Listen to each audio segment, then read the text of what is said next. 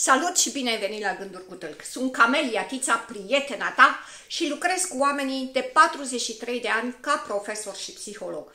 La Gânduri cu Tâlc, astăzi, vreau să împărtășesc cu tine o idee importantă. Și cineva spunea că diferența dintre imposibil și posibil o face doar determinarea persoanei.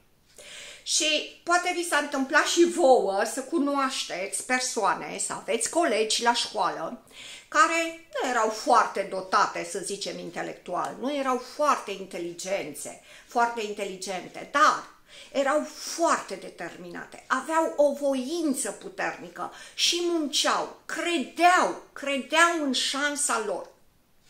După cum, la polul opus, Poate cunoașteți persoane foarte inteligente, foarte dotate, cu abilități native, am zice, adică din naștere, dar mai sceptice, mai puturoase, mai zicem noi, uh, brânză bună în burduf de câine, da? Așa, și care pur și simplu, din diferite motive, fie că sunt demotivate de cei din jur, fie pur și simplu uh, ele, în scepticismul lor, cred că nu au șanse, da? nu cred în steaua lor norocoasă și cumva se pierd pe drum. Să știți că eu am avut în liceu uh, colegi, mi-aduc aminte, foarte, foarte bune, care chiar au clacat, s-au pierdut pe drum și uh, nu au reușit să facă mare lucru în viață. După cum am avut și colege uh, pe la mijloc așa, da, în segmentul acela median și uh,